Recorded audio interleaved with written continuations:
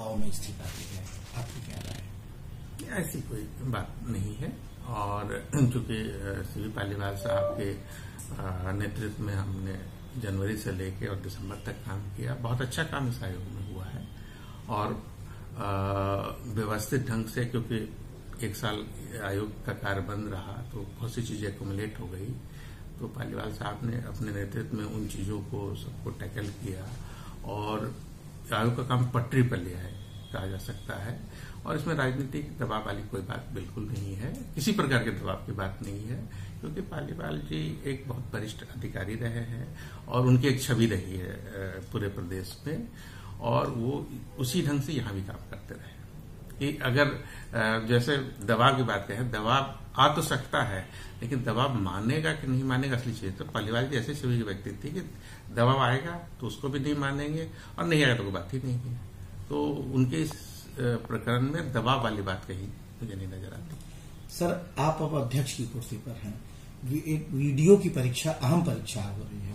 उसको कब तक पूरा कर लेंगे आप? आपने देखा है कि 22 और 23 को दिसंबर में इसकी लिखित परीक्षा संपन्न हो गई है और इसका एक कैलेंडर हो जाता है। जैसे, जो स्टेजेस हैं, जैसे पहला स्टेज है कि जो क्वेश्चन आए और उसका आंसर आया, उसके बारे में हम एक बार इकतीस दिसंबर तक हम लोगों ने सब अभ्यर्थियों से मांगा उनकी आपत्ति आ गए इन आपत्तियों पे फिर जो एक्सपर्ट्स हैं उनके पास जाएगा और उसका परीक्षण करके करीब तीन हफ़्ते 21 तारीख 21 अ, जनवरी तक वो अपनी दे देंगे कि उसमें से क्या मानने योग्य है और इसमें एक बात मैं ज़रूर कहूँगा अक्सर लोग कहते हैं कि गलतियाँ क्यों हो जाती है?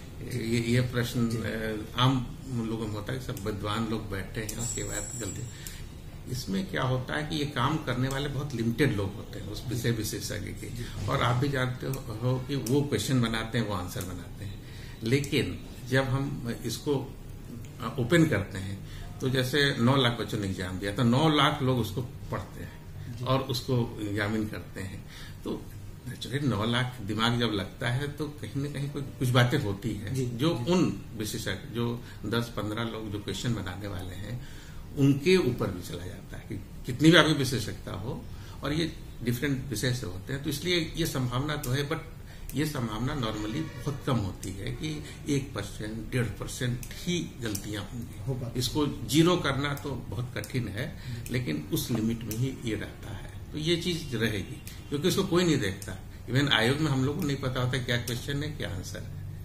ये ये ये जो सिर्फ़ जो सेट करने वाले हैं उसको भी नहीं पता कि कौन सा है। क्योंकि व्यवस्था इस तरह की बनी हुई किसी को पता नहीं होता। गोपनीयता गोपनीयता इतनी रखी जाती है इसमें और वो ज़रूरी भी है क्योंकि आपने जो भी आपने पूछा पर्चे लीक क्यों होते हैं तो उसको रोकने का तरीका गोपनीयता ही है। तो उसके कारण क्वेश्चन गलत होते हैं तो 21 तारीख तक वो आएगा। इसके बाद फिर हम लोग उसके हिसाब से चूँकि इसमें इंटरव्यू भी नहीं है तो एक और इसमें बात सामने आ रही है कि ये चार पाली में हम लोगों ने परीक्षा ली है। और जो इसका विज्ञापन निकाला था उसमें हम लोगों ने नॉर्मलाइजेशन की बात नहीं रखी है। तो नॉर्मली एक से अधिक पाली होने पे नॉर्मलाइजेशन की व्यवस्था रखी जाती है। तो ये प्रश्न इस समय चल रहा है कि इनमें क्या किया जाए कि उसमें नॉर्मलाइजेशन तो हम लोगों ने रखा नहीं। तो अब नॉर्मलाइजेशन क्या लाना चाहिए नहीं लाना चाहिए? इस प्रश्न का उत्तर आयोग को ढूंढना है। और उसके हिसाब से, क्योंकि अदरवाइज़ हम फरवरी में इसका रिज़ल्ट निकाल सकते हैं। लेकिन अगर नॉर्मलाइजेशन की बात आएगी तो नॉर्मलाइजेशन का फार्मूला बनाना होगा। उस फार्मूला का अप्रूवल आयोग करेगा। नेचुरली उस पर भी विशेषज्ञ लगेंगे। और उसके बाद फिर ये रिज़ल्ट निकल पाएगा।